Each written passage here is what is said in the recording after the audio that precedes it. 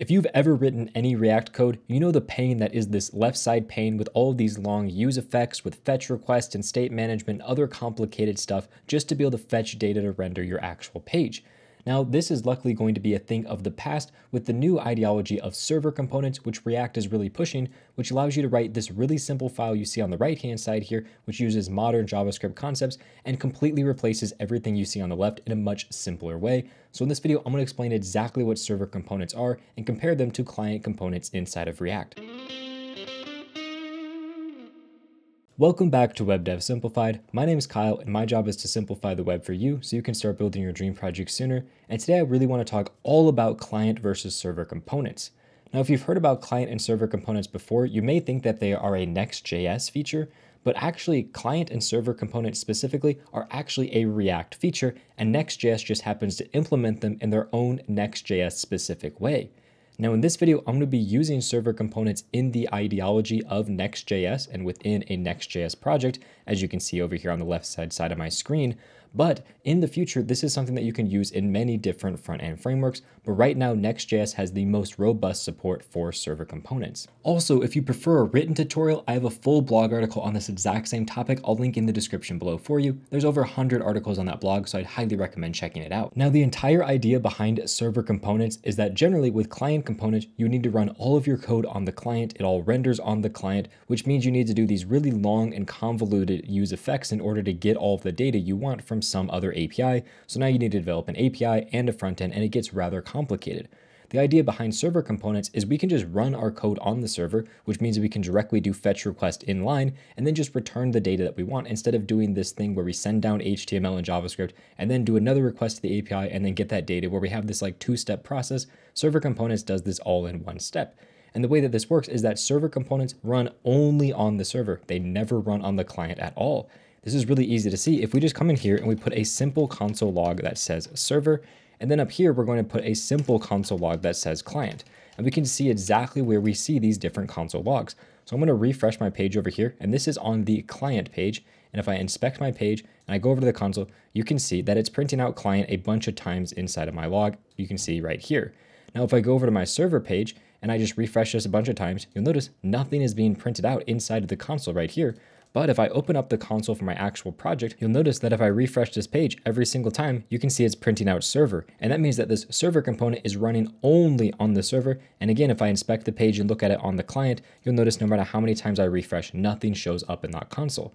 The one interesting thing you'll notice though is when I navigate to my client page, nothing actually re-renders, but when I do a hard refresh on this page, it does actually render my client component on the server.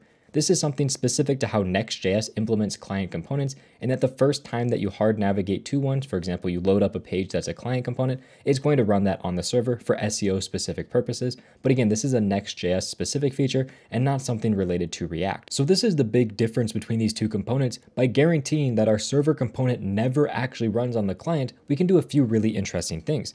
The very first thing is that we can actually make this an async component. As you can see here, I've made this an async function, which means I can just directly await my fetch request or database request or anything else that is time consuming inside of here, and I can just make sure I render out my code afterwards. So I don't have to worry about loading states, error states, doing my use effects for my fetches, state management, all of that is handled by just a simple async await, just like you would do in any normal JavaScript code. And this makes it much more aligned with normal JavaScript, and it makes the actual process of understanding the code and reading it much easier. Now you can still handle loading and error states. Doing that in Next.js, you just need to create essentially a loading file inside of here, or you would create an error file. And if you wanna learn more about the Next.js specific ways of handling those things, I have a full crash course video on Next.js. I'll link in the cards and description for you. But for the purpose purposes of this video, that doesn't really matter because we're really focusing on server components themselves.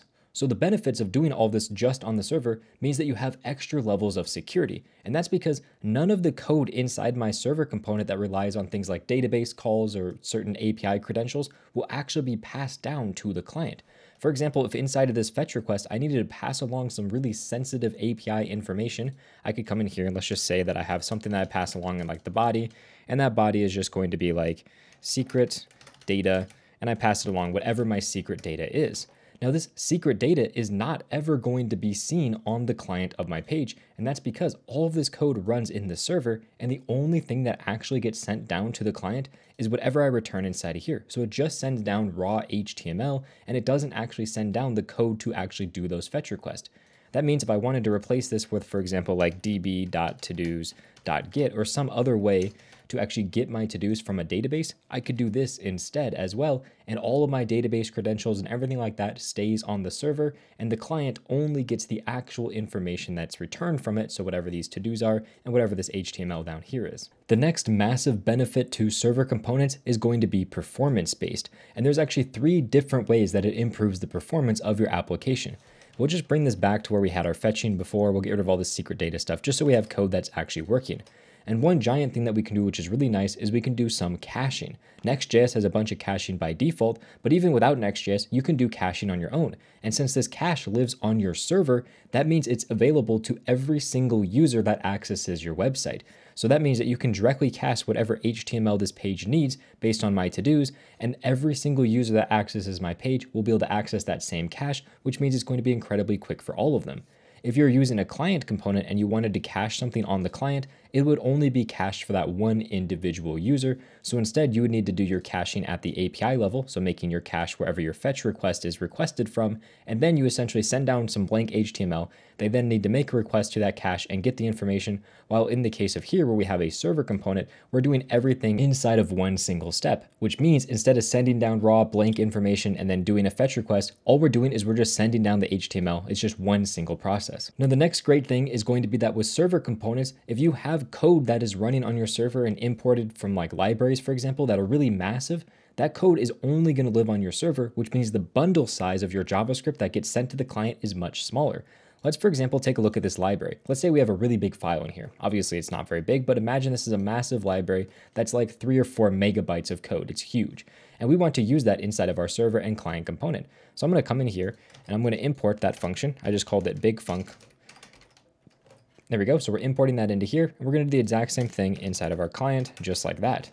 Now, if I were to go to my client page and I actually inspect what this looks like, make sure I refresh what this page is, and you'll notice if I go over to my source code and I look through my source code, for example, I just do a control shift F to actually search for that big func, and I search, you'll notice all over in my code, I find this big func because that is inside of the code that's being outputted for my client component.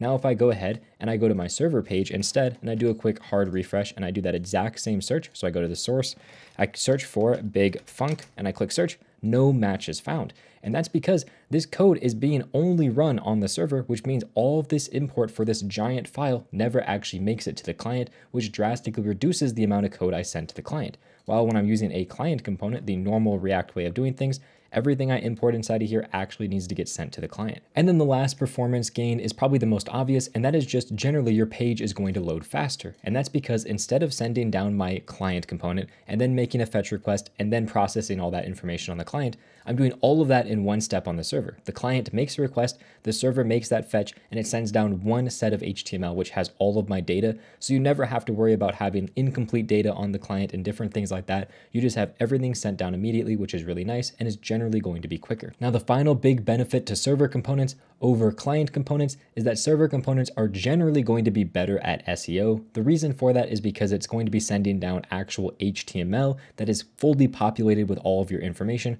while a client component, on the other hand, is going to be sending down partially implemented HTML, and then it needs to use things like a use effect to actually fill in the rest of that information. Now, obviously, search engines have gotten better at dealing with this, and you can do certain server rendering tools inside of React, but with server components, all of this is super easy and automatically baked in for you. Now, with all of these amazing benefits, you may just think, why not make everything a server component? And the reason you can't do that is because since your code never runs on the client, you have no way to add interactivity to the page.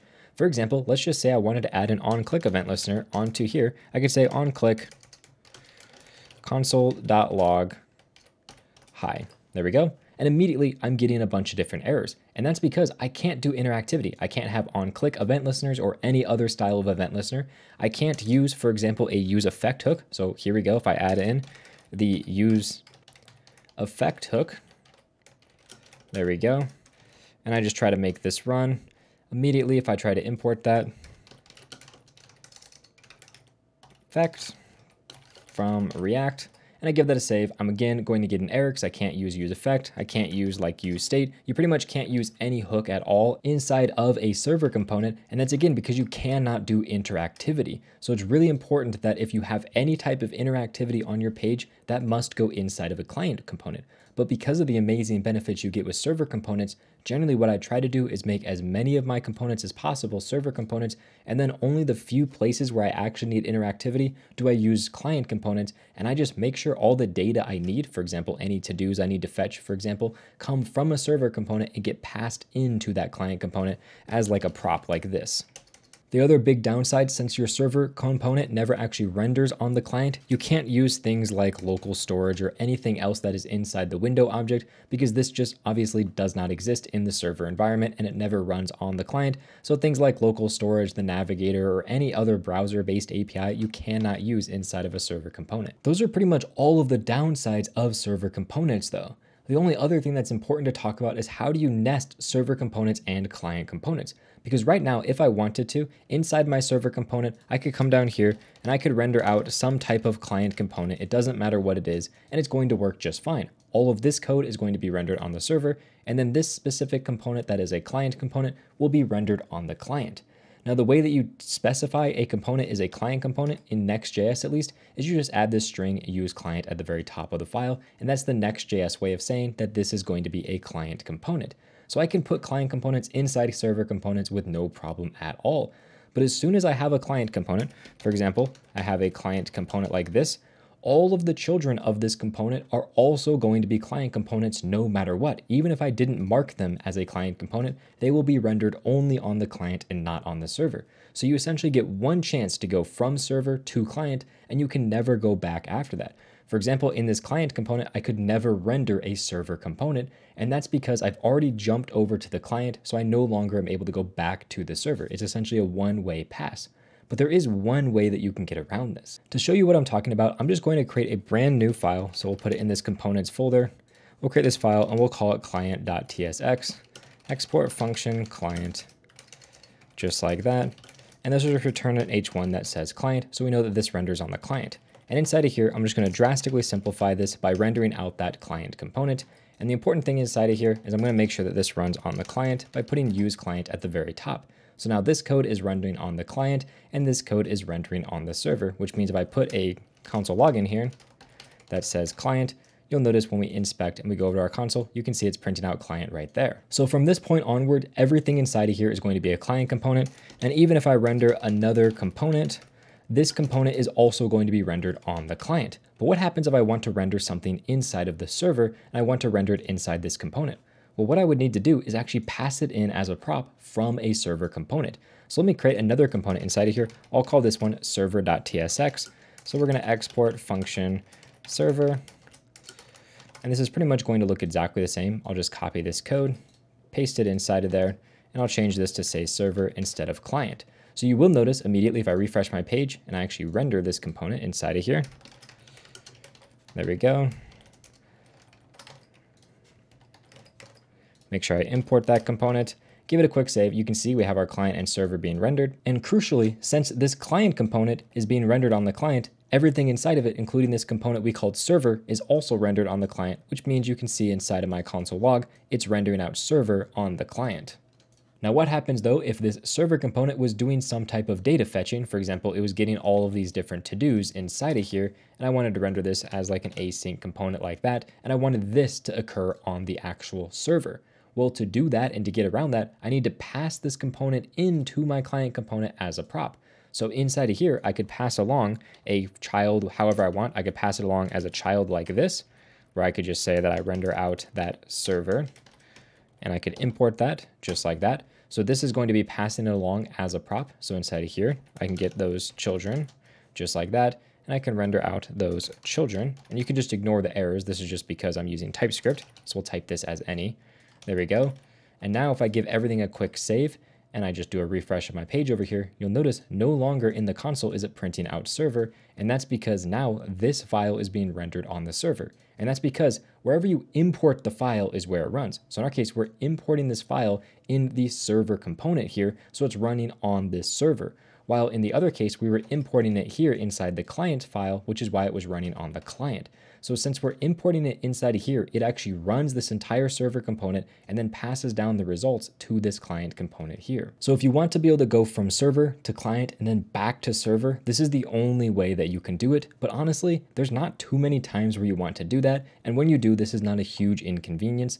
The one thing to watch out for though is that other frameworks may do this slightly differently. This is the Next.js way of doing things, and a lot of this is overlapping with the React way of doing things, but at this current time, it's very blurred the lines between Next.js and React, so it's a little bit difficult to say if every framework will do it this way or if they have their own ways of doing this, but this is more so specifically for Next.js. Now I know this was a lot to cover, so if you're interested in taking this to the next level and actually learning Next.js, which is built on top of this, I have a full crash course I'll link on the screen right over here. And also you can check out my complete Next.js course. It's going to be linked down in the description. It covers literally everything you need to know about Next.js to be an expert level Next.js developer. With that said, thank you very much for watching and have a good day.